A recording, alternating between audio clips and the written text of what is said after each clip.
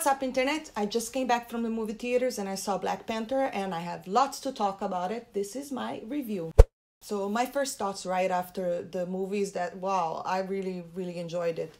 Um, I thought it was very well made. The cast it was one of the best things. The costumes, makeup, music, cinematography, the visual effects, everything was great. You know, I didn't think there was a lot of CGI. There was CGI, but a little bit less in comparison to all Marvel's films. I thought the pacing of the filming was also a little bit slower, and I that's also something that I really really like. So let let's let's start with the casting.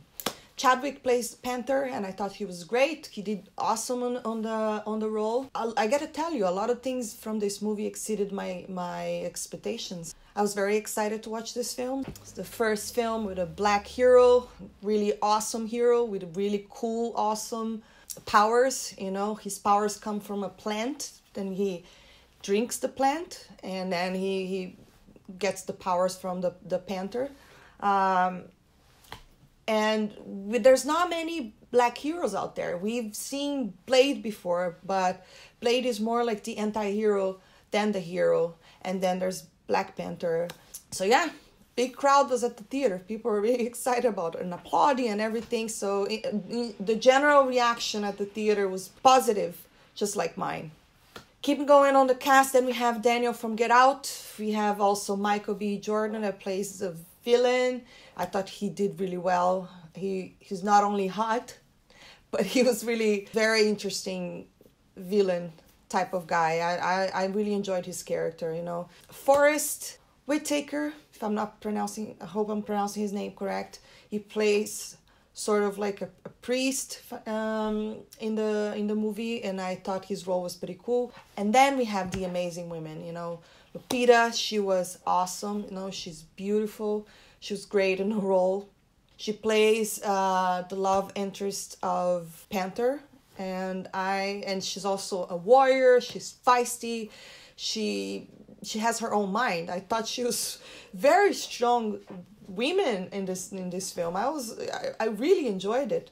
And I think Disney could take a tip from this film because they were trying to do some women empowerment the last jedi that in my opinion did not work so disney this is how you do it and then we have Michonne from The Walking Dead. I have to call her Michonne. Danai was really good in this film. You know, she came in and she kicks butt with her spear, and ah, she's just she's just so good.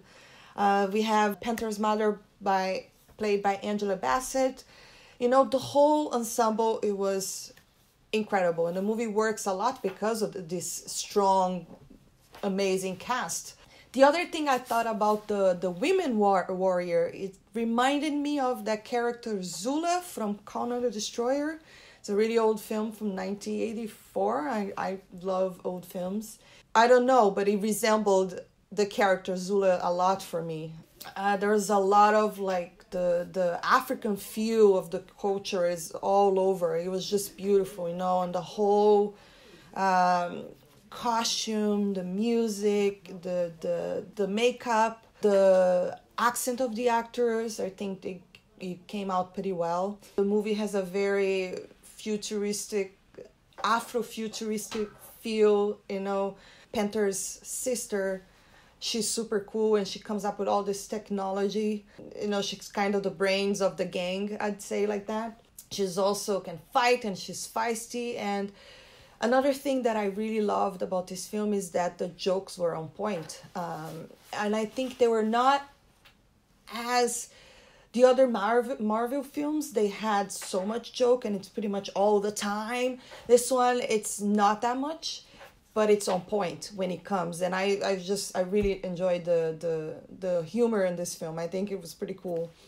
The lighting was a little bit dark at sometimes I couldn't really see, especially like night scenes. Oh, I think the first scene that was very dark was the one in the woods at the beginning. Uh, it was a little bit like they could have lit it a little bit better. I couldn't really see very well, but um, it was probably the the director's choice.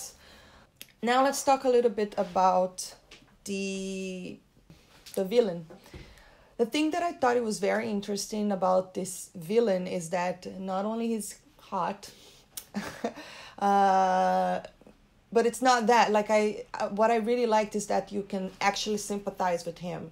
The way that the story is written you completely understand his reasons you know why he's doing what he's doing. It completely makes sense. And then towards the end um you kind of feel bad for him you know? This is a spoiler so go watch the film before you you hear what i'm saying here because i don't want to spoil anything no one to be mad at me. But so yeah so he, the he dies at the end no panther kills him at the end and i i totally felt bad for him you know?